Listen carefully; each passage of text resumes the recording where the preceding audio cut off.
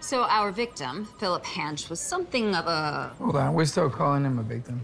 Of the truck, yes, until we know why he broke into Quantico. Well, I was about to call him a slacker.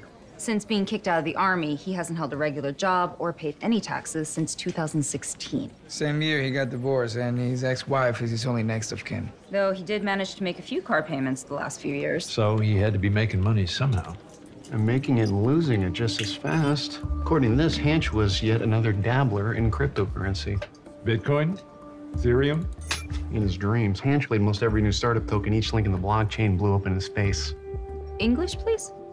Basically, he was gambling to get rich quick, only ended up with about 50K in credit card debt. Why couldn't he just say that? Digging now to see if that debt has any connection to Quantico. Good.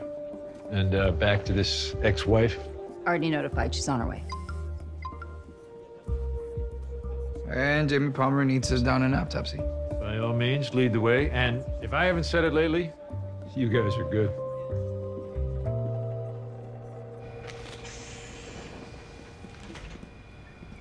Crown Vic. What happened? No more uh, Kasie time? She got busy, so yeah, back to dad. And what are you up to, Nick? Oh, I was just about to go to this uh, new uh, ice cream shop just up the road. But, you know, with the case and all. Yeah, you got some time. I don't suppose you're interested. Ice cream or autopsy? Tough call. All right. Rocky Road it is.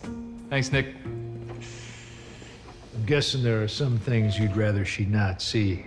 Yeah, this is definitely one of them.